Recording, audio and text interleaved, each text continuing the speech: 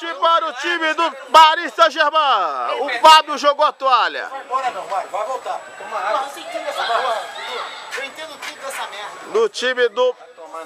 O Fábio jogou a toalha. Pênalti do Carlos Henrique em cima do Mário.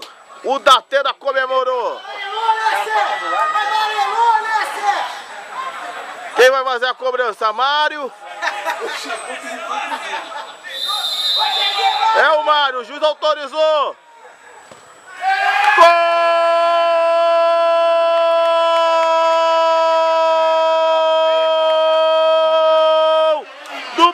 PSG! É dele! Mário guardou na rede do João Kleber. Mário fez o gol!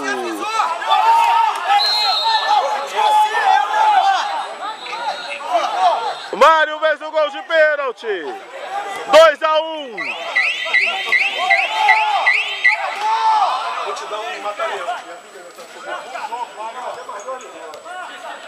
PSG 2, CSK, CSK 1.